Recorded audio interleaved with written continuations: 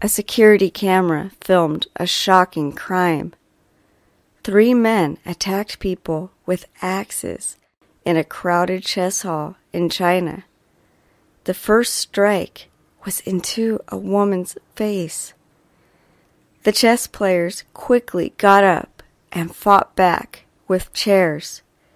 The attackers ran away from the angry people. They injured four people but their lives were not in danger. Two of the attackers died. The third one was arrested.